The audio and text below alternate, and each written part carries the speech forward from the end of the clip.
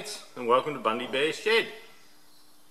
Well, probably been 10 days or so since we posted, probably closer to a fortnight.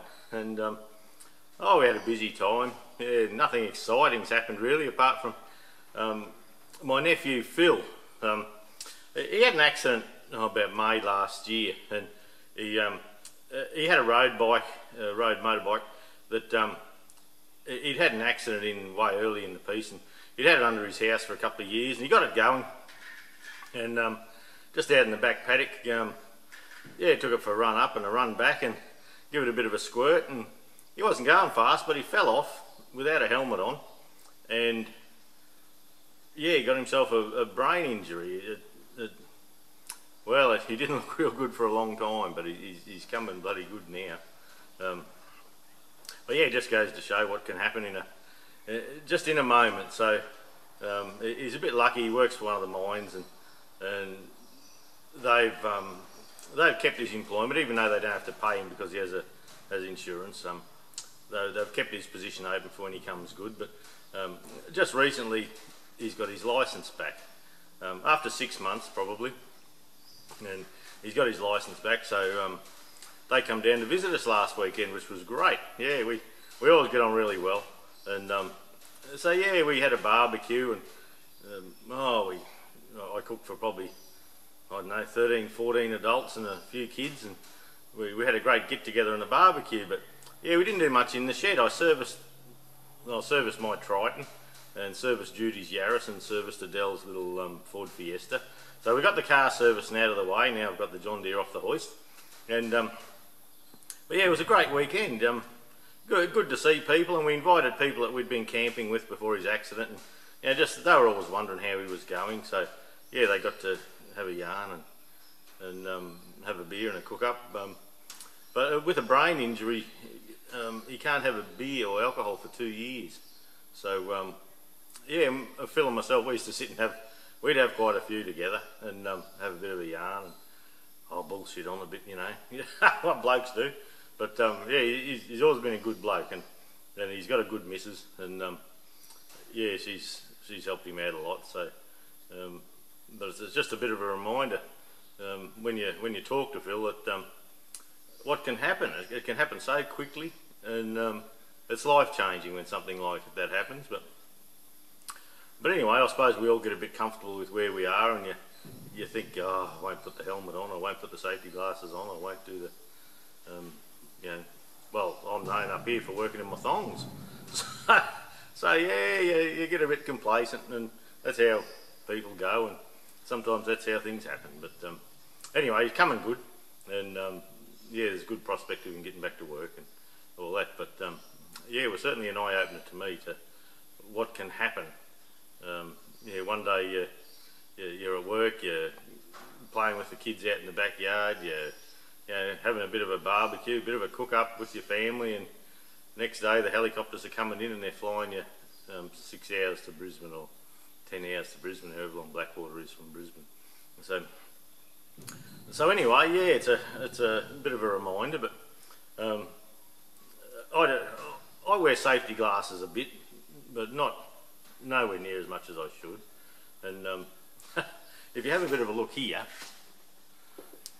see just in there, got a bit of a black eye happening. Now I've been telling everyone it was the missus. um, and I've been getting away with that, and most of them reckon I deserve whatever I got. But anyway, nasty buggers, eh? um, uh, but yeah, I got a bit of a shiner the other day. And what was happening was, you know, your, your little ratchet straps, you, you, got your little ratchet tie downs for the back of the ute, and um, and they've got the, the little safety hook on them, you know, a hook with a little latch, so if, the, if it comes slack it won't drop off your tie rail. Well, I had one of them in the back of the ute, and I, I wanted to get it out, and I hadn't wrapped it up properly last time, which is pretty common. and, um, anyway, the hook got caught, so it was just sort of under something, so I give it a bit of a flick, and it flicked and cracked right in my eye. And um, anyway, not to worry. I got my ratchet strap and kept on going. Yeah, but um, yeah, at the time I could feel it a bit puffy and and oh, barely broke the skin. Yeah, just a bit of a bit of a crack sort of thing and nothing serious. Um, not enough to go and sit down or anything, just to wipe her off and keep going. But anyway, the colours come out now, so saves me a hell of a lot of makeup, eh? Yeah, I've got to match this side now, be right. Yeah, but um, but anyway, what's been happening in Bundy Bear's shed? Well, look, not an awful lot. Um, I've been doing the front nose cone, panel beating the front nose cone on the John Deere 420, and it's a long job. I've done 13 weld repairs on the front of it because these old farm tractors, once they get to a stage where they're not loved much anymore, well, anything goes. Yeah, so um, I've, I've, got all the welding done and a coat of primer on it, and where any of the dints were, I've hammer finished them as best I could, but to tell you the truth, I'm not that much of a bloody panel beater. um, uh, there's, I've, so far I've got it reasonably straight with no bog at all in it. And um, down, down on the bottom section, um, you can see a few ripples that I'll, I'll probably have to um, hammer a little bit lower and I'll probably have to put a swiper filler across that. But I, I try not to use the bog if I can. So, um, so I've, I've spent a couple of days solid on that and it's there's not much to look at for a video. It's bloody boring looking work. and, um, and yeah, just a patch here and a tap and a sand and and you seem to have to do a, a lot of hours for not much um, reward or not much satisfaction in what you can see you've done. But so anyway, we, we've done that. Um, the my old rider mower, um, it blew a belt. It's a Toro rider mower, and um, it blew a belt. And um, yeah, I've, got to fix the deck today. I was going to keep it for the rough areas up around the shed, and then um, I bought a new John Deere, a, a D110 for duty. So um, probably today sometime I'll have to get the deck out of the other one, and I think some of the um, some of the pulleys are a bit crook, and yeah, just worn. I, I, always keep spare pulleys up on my wall here in my spare parts, you know, and a spare belt and things like that. So um, I'll probably try and get the old girl going today sometime. It'll give me a break from the sandy. But another job we're doing on the John Deere is we've been making a step. Um, because the first step to hop onto the John Deere is over a metre off the ground, um, I've decided to put a step halfway. So, so what I've made is a, it's a little L bracket. Um, it's, we've got holes underneath, so when the, the, what the setup is, is this goes onto the tractor. We've got a proper John Deere foot plate, then we have these bolts, cup head bolts, and the cup head bolts, they come down through the holes and that gives us a nice, a nice step. So I think in doing that, to mount the, um, to mount this, there's a hole in the centre of the gearbox where a shaft goes through for a mid-mounted implement. So um, I've got a piece of inch and a half shaft and I've, I've stepped it down so the inch and a half shaft will poke through here and be welded in.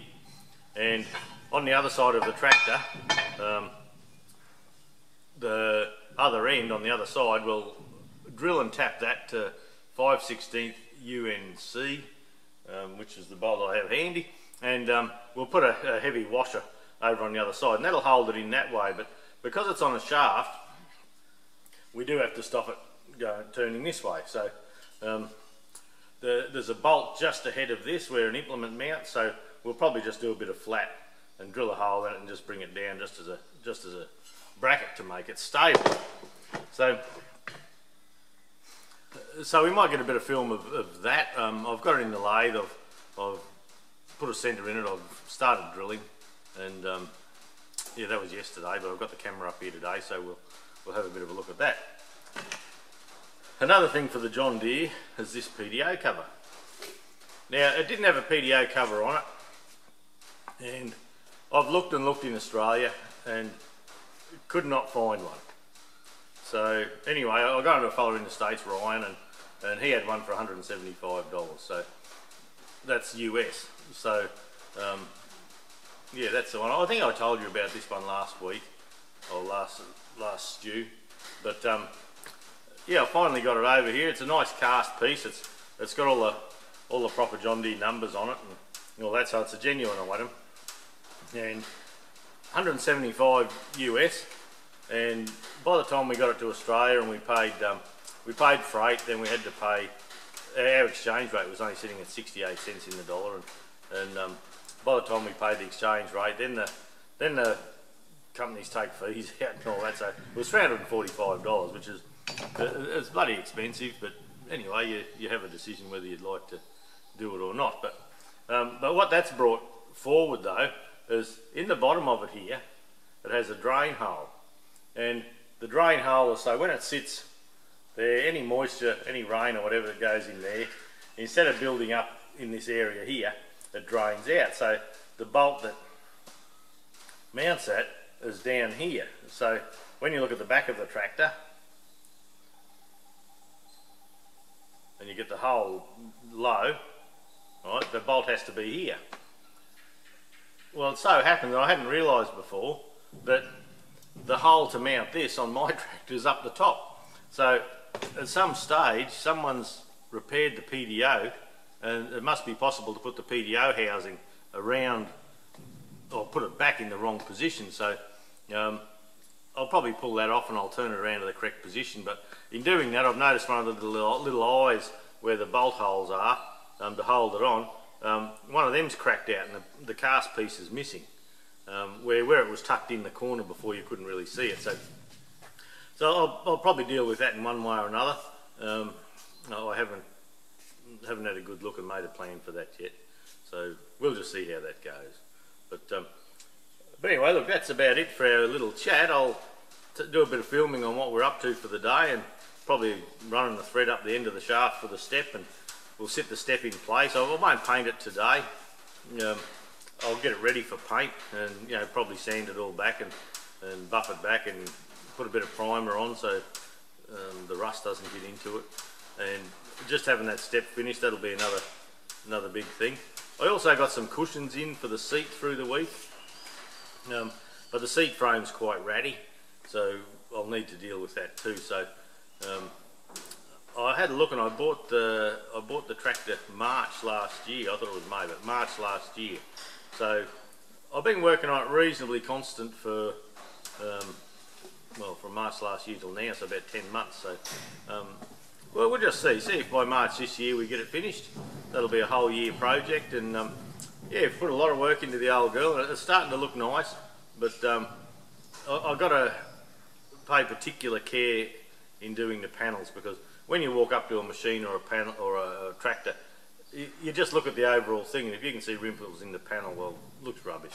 So I'll do that the best I can. Um, if if the best I can do isn't good enough, well, I'll probably pay someone, but we'll give it a red hot shot first, and um, and try and get on top of it. I've done a few in the past that have come out pretty good, so um, yeah, we'll we'll battle along with that.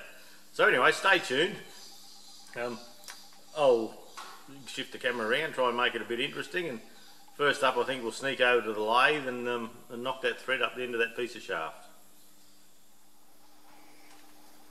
Well, this is the PDO at the back of the tractor, and this is where this, this bracket goes. And with the hole down, there's a hole here, with it down to the bottom, this mounting bolt should be down here, not up here. So it looks like um, right up in, in the back here that I haven't particularly noticed before, there's a little lug broken off.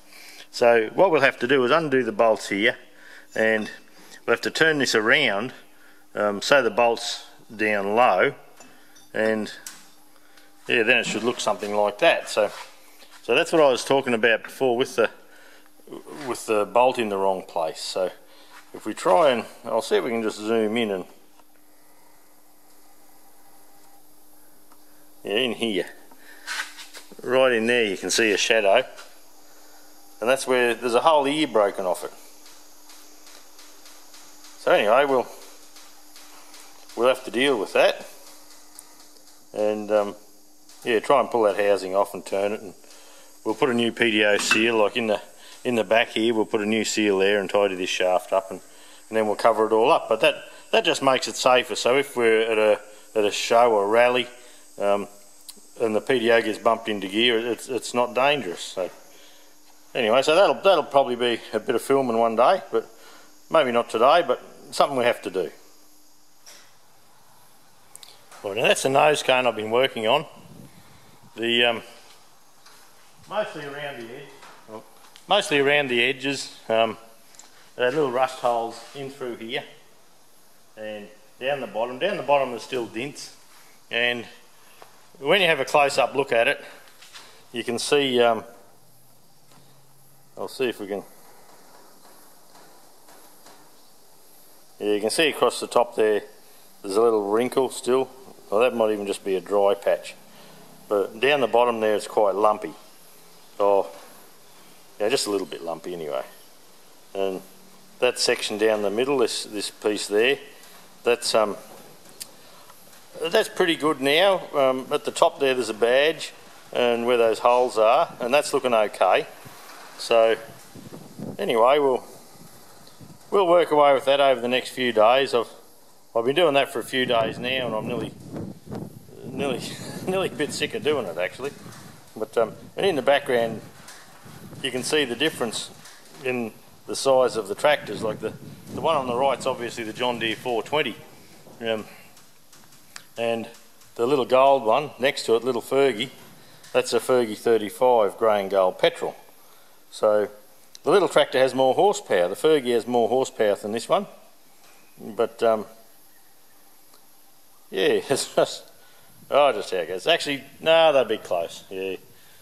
But anyway, that's um, that's what I've been doing with that. Uh, yeah, it's coming up okay, but on the bonnet there's a couple of holes we have to fix yet, so that'll take a while too. So, but anyway, that's um, yeah, we'll take you over to the lathe, I think. Well, all we're doing here is we have a 5.8 and see if that'll focus on that for us. 5.8 UNF bolt, or UNC, I'm sorry, bolt. Uh, we're going to just tap a thread up the end of the shaft for the um, for the step on the John Deere. So we'll just drop a bit of a hole. I've already started on it. We'll just make it a bit deeper, and we'll do a um, do a bit of a run.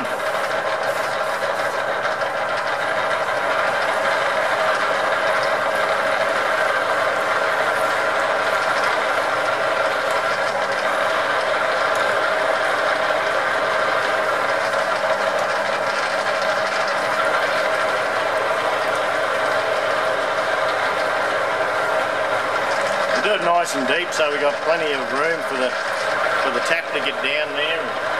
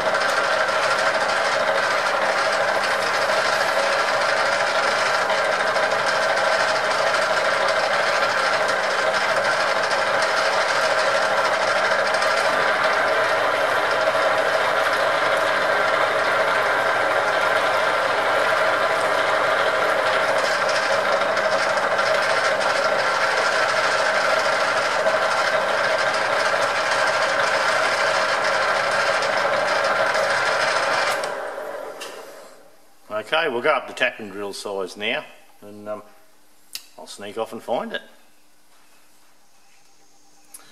Right, um, tapping drill for 5811 or 58 UNC is 13 and a half millimeters.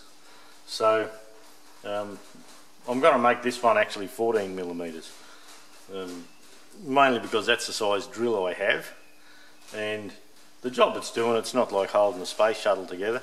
It's holding a little step on the John Deere. So we'll rock and roll and get that happening.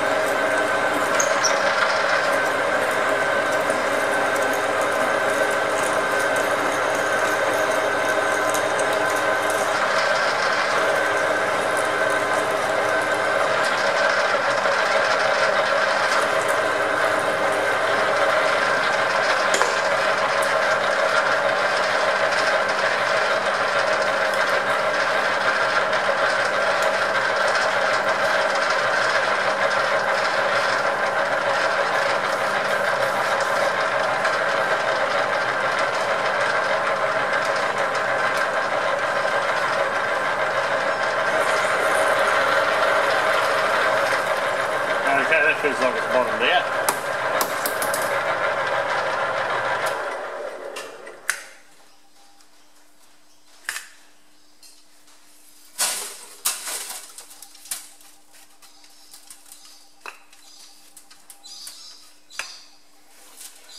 Alright, we're going to find a tap and we'll stick a tap in the chuck and just let it feed in and just nice and slow with lots of lubricant and we'll see what...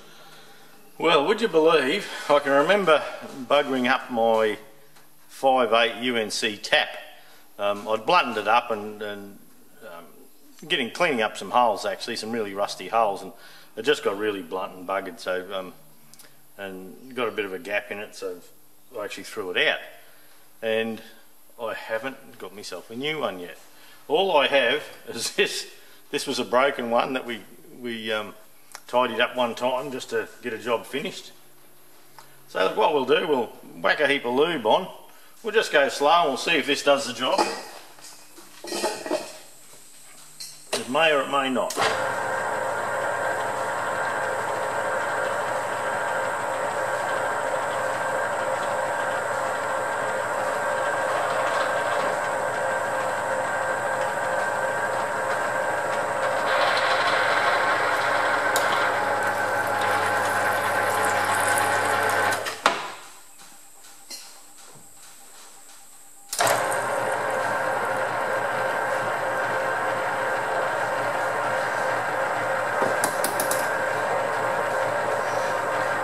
Well, that's actually pretty good, surprisingly.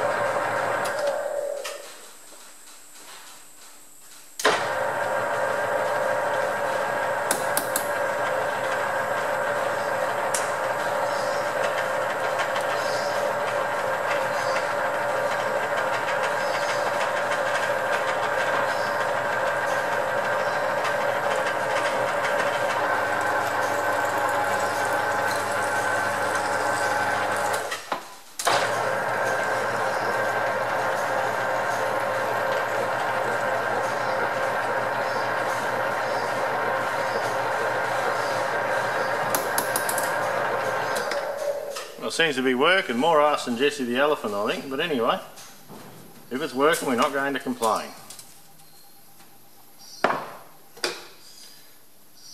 Might s- Oh, that's gone tight on me now. Anyway.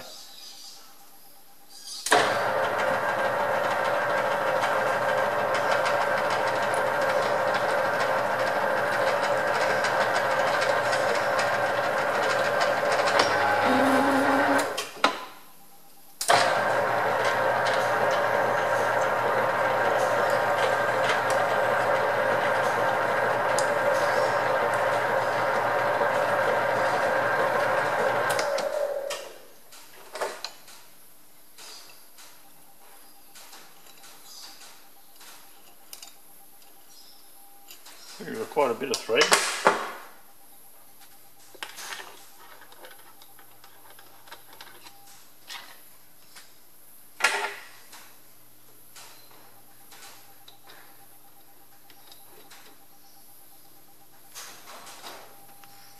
I'll have to give that a bit of a clean out, I think, but yeah, I think we're having a win.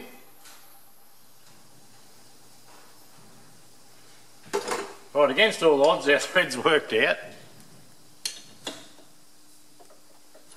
It goes in nice and deep. It's 10 millimetres from the head to the start of the shaft or the start of the thread. So that's a good thing. Now what I'll have to do is make a washer up and on that washer we'll um, yeah that'll that'll hold the step right into the tractor. But the the thread's a nice fit, you just need a spanner comes a bit looser out here, a bit where we've gone in and out a few more times.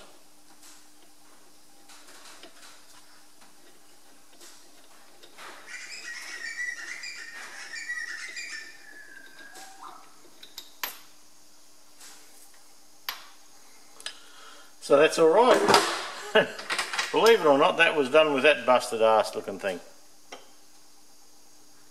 And it still seemed to work okay and it cut the thread nicely yeah.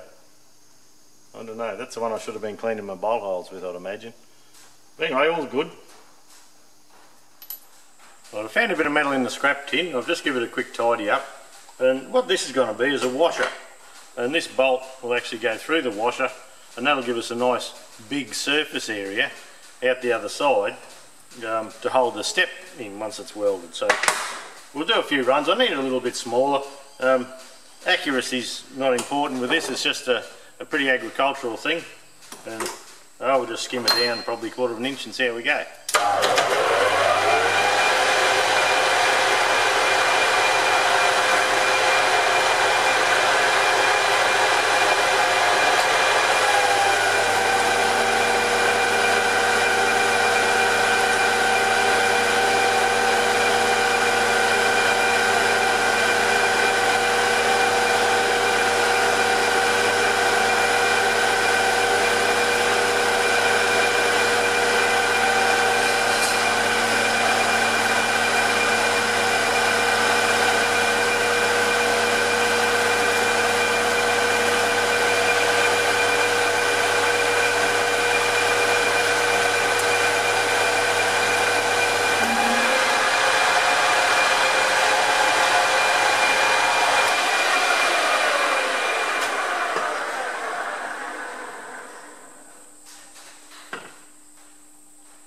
we're getting a lovely finish there. Eh?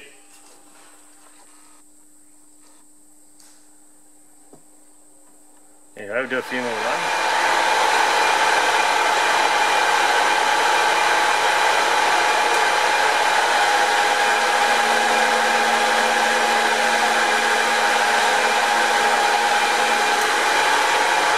Might go a bit deeper. This will slow her up a bit.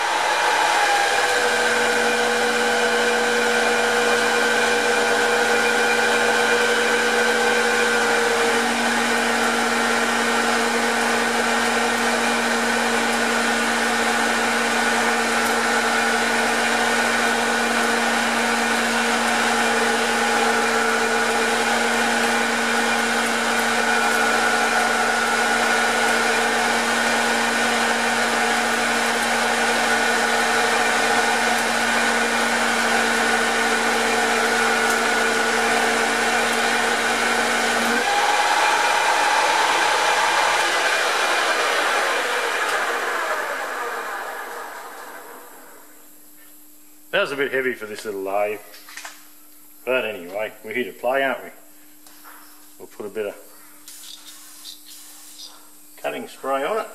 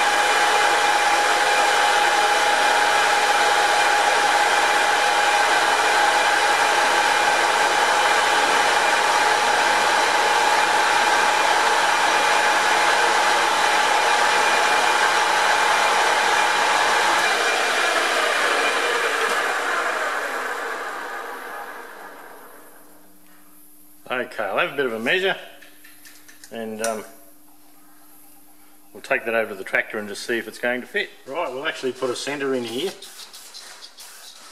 Bit of lube.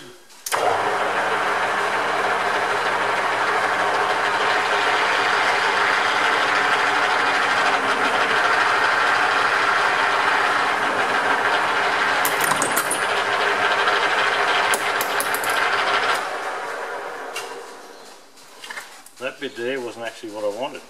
And why did that happen? I forgot to bolt the tailstock down. Right, doing this centre, as you saw, I just broke the end off my centre drill up here. Well, why did that happen? Well, main reason is I started drilling and I hadn't locked my tailstock and the tailstock just kicked a little bit. Being a light lathe, um, I had the tailstock quite loose and it, and it just sort of just kicked across a little bit and um, and that was it. So that's what you get for machining with your brain in neutral. anyway, I've got the broken bit out, bit out now. Wasn't a big deal.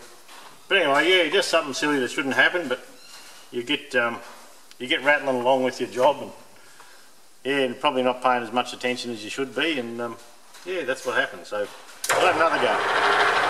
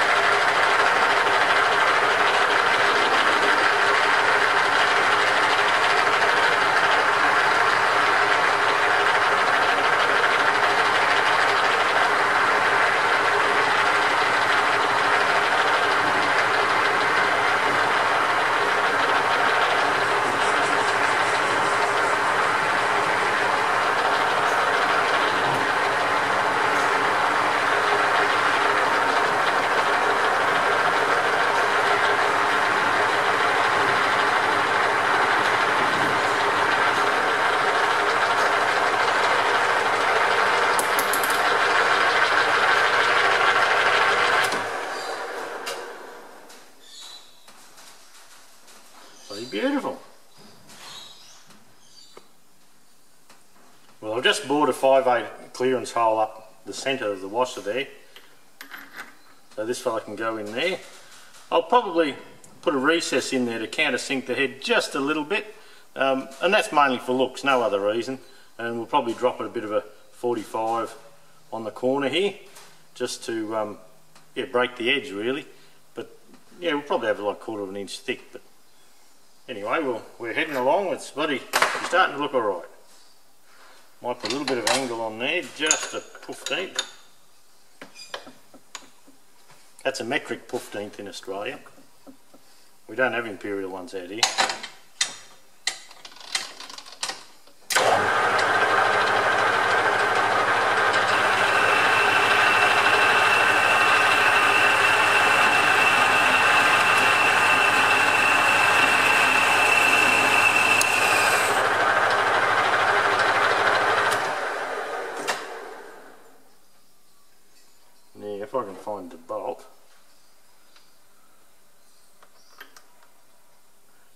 Nice. There's room for a socket, so we'll just work with that one measurement and I'll stop picking that up before it cuts my finger.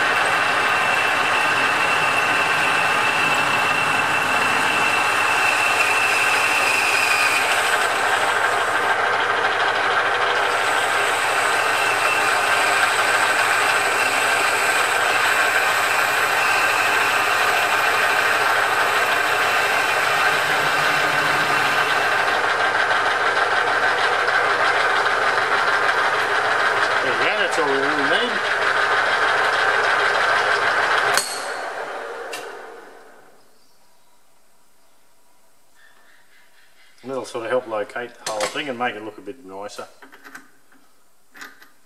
And you can still get a socket or a spanner around it.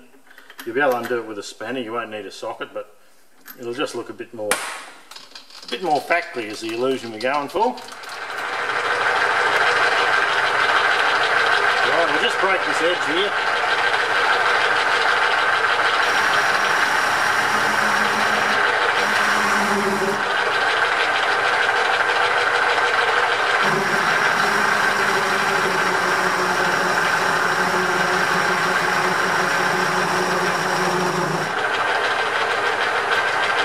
That'll do nicely.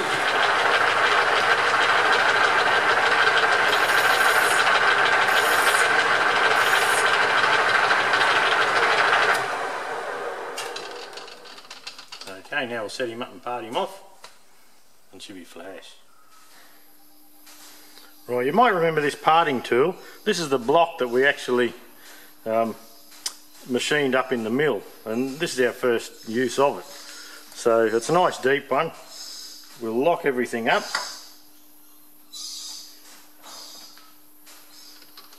And we'll have a bit of a feed and see what happens. Like a bit of this. That's that worth cool cut.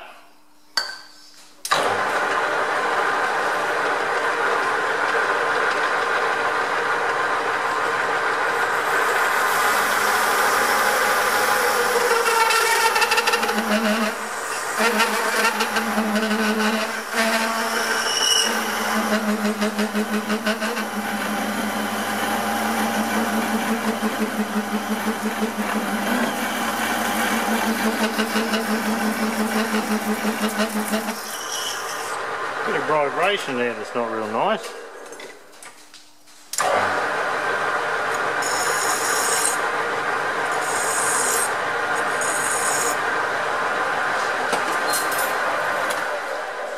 So we might speed it all up a little bit.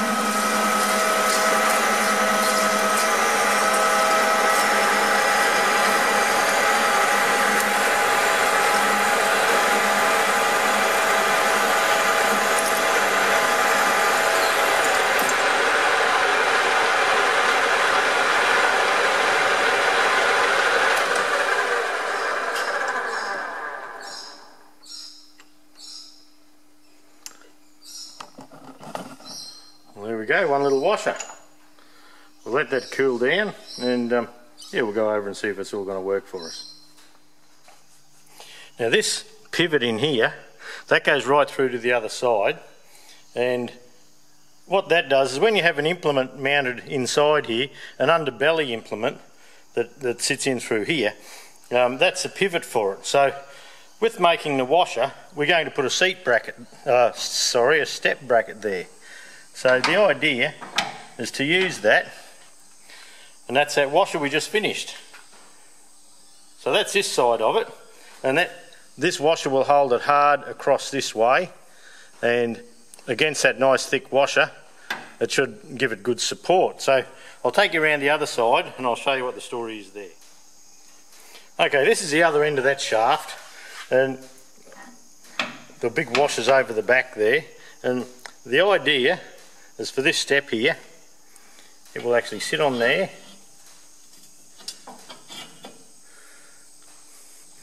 Up against the shoulder in here, it'll be welded inside, it'll be welded all around here, and that will give us a step to hop up and down on the tractor on. Now if I go out a little bit, that will give you an idea of the setup. But in doing that, in, in having this step here, on a pivot, well of course we're going to have this happen. And the other idea that I spoke about earlier was to, there's, there's an implement mounting bolt here and so with the implement mounting bolt taken off or the nut taken off we can actually put a piece of steel down behind it and just weld a little bracket and that will that will make it secure forwards and backwards and, and it won't look too dicky. So so that's the plan at this stage anyway. We'll we'll work away with that and see if we can find something to do it with nice and tidy and I'd, I'd say the next thing is we'll mig all this up mig him up in there and I'm going to leave the outside edge flat um, and we're only going to weld inside on this edge here so that this step can pull hard up against the piece in the housing there. And anyway, we'll go away and do that. Well, that's the step. That's this side. We still have to put the strap in. But one thing I didn't tell you before is when I put the the little dimple in the washer, it was to match these ones. There's two here where the implement mounts, and they all have a little dimple in them. So if you hang on, I'll put you around the other side. And I'll show you. That's the washer we made. And just further forward of that, that's the implement mount. With the sunken washers. The washer on here isn't sunken as far, the one we made, but it's still along the general guideline, so it all looks like it fits in okay. Oh well, now to make the strap. Well, there you go, that's the back of the step. Just did a bit of a vertical down with the MIG, just to put the strap on. And that should stop it from moving around, so that doesn't look too bad. I'll take you around the other. And that's the finished step. Bring her around there so you can see the side view. That's nice and sturdy. It's a proper John Deere mount. So anyway, we might call that a wrap. We'll catch you all later, eh?